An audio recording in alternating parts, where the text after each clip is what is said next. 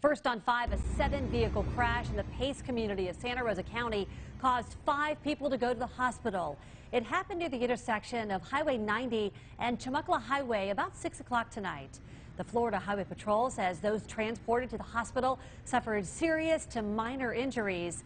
The Highway Patrol is still investigating the crash.